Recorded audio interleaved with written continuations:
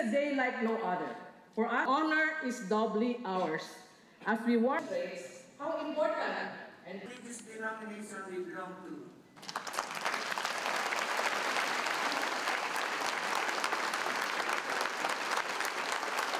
Sana piliin natin hindi magaling kumanta, hindi magaling sumayaw, hindi, hindi naging ex na ako sa telenovela. Medyo makapal ang mukha rin. yun.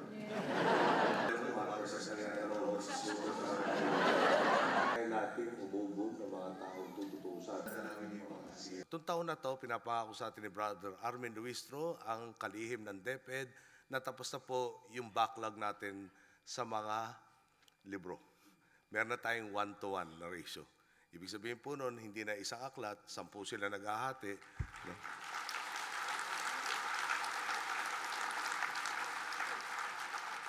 Tapos sa nine and a half years po nung nauna sa akin, hindi na natapos yung classroom na shortage. Ang pangako na naman po sa atin ng DepEd next year.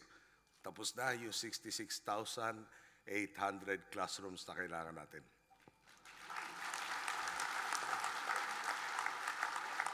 Mas-